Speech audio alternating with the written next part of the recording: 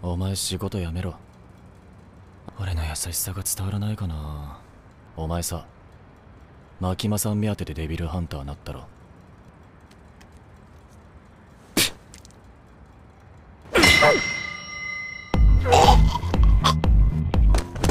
俺は男と喧嘩するだけ。股間しか。狙わねえ。てめえもマキマさんが好きなだけじゃねえか。邪魔ばっか狙いやが先輩が金玉の悪魔に弾を襲われました。